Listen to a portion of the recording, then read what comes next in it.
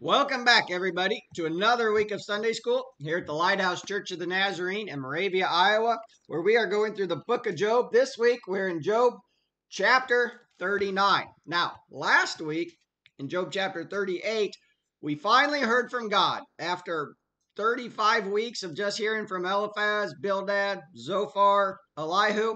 We, we finally heard from God. And what did God say? What did he say to Job?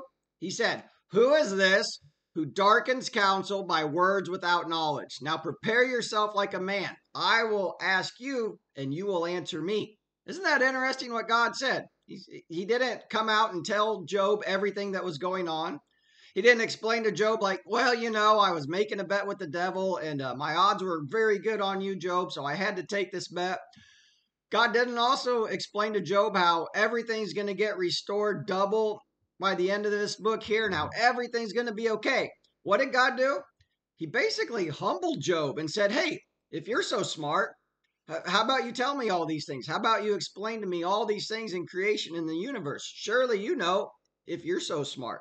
Now, I have to say this the first three verses in uh, Job 38 are probably some of my favorite passages of scripture in the entire Bible. And, and why is that? It's because anytime I start to feel sorry for myself or if I start to question the goodness of God, I can read Job 38 and then I think, you know what? Who am I to question God? God knows what he's doing.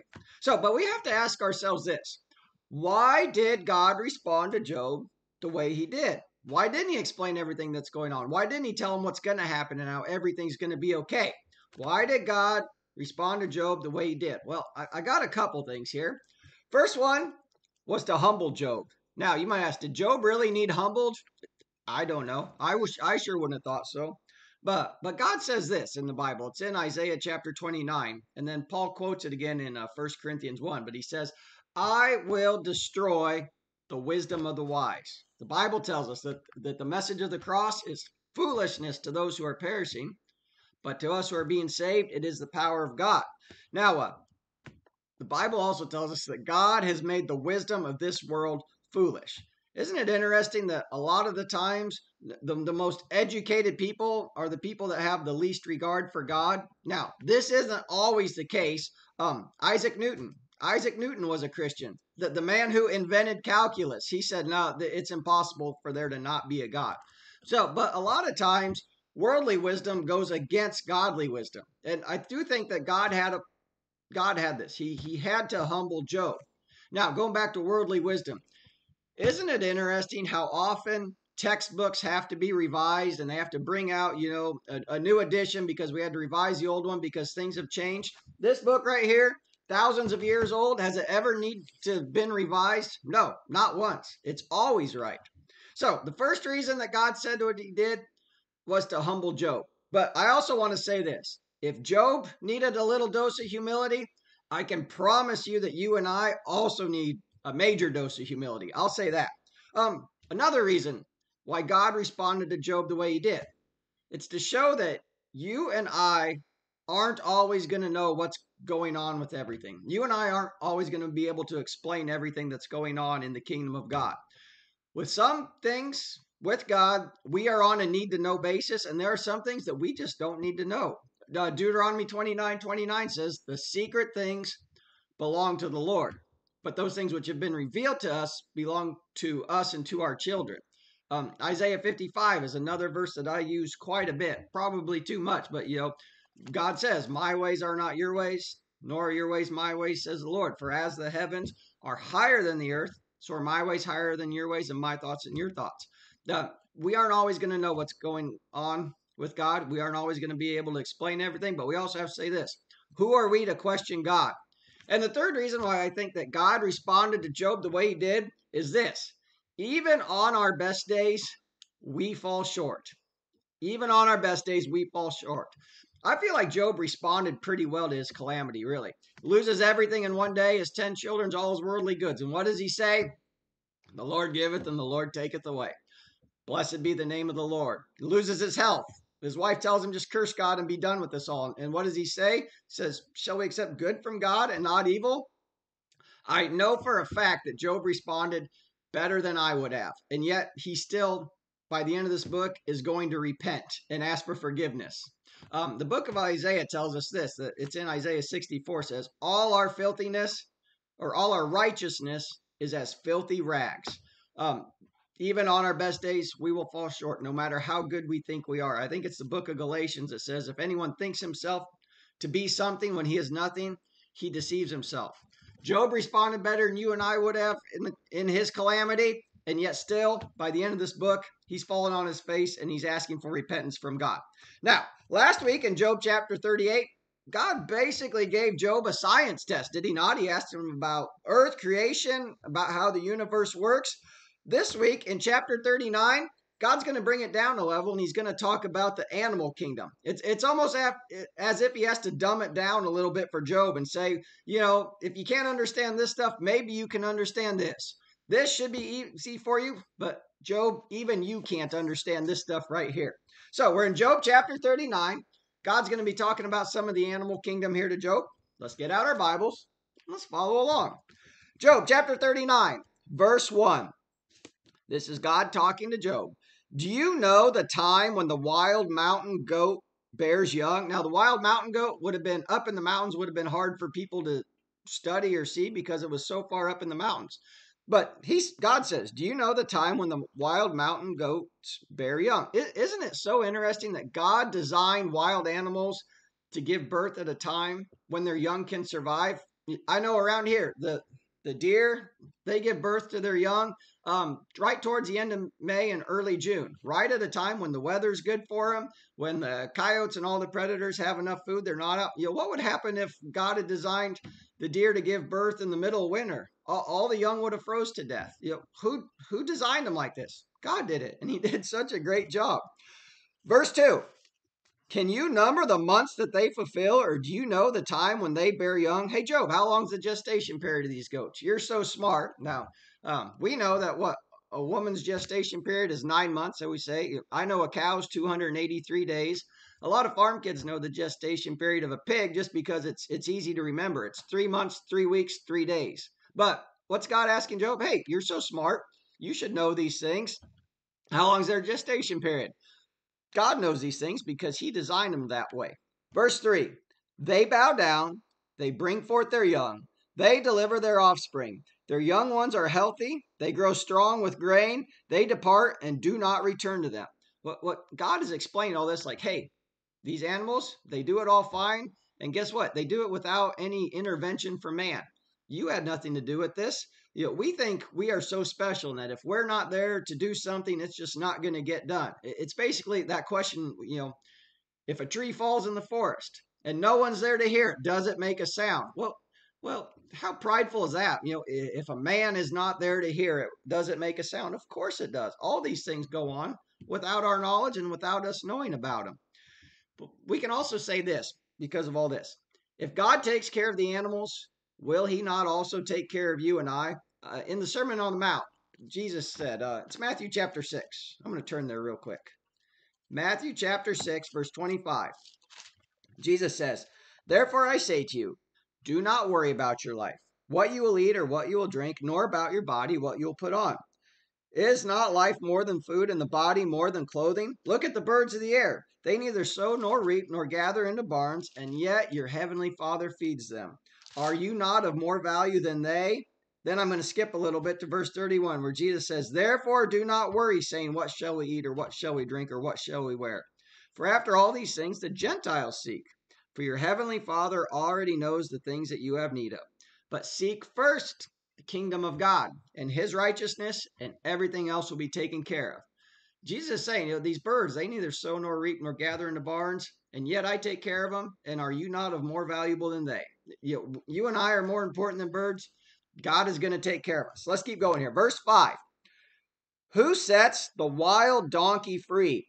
Who loosed the bonds of the onager? Now, now, this donkey called the onager is a donkey that has never been domesticated. It, it's the wild desert donkey. It, it's still around today.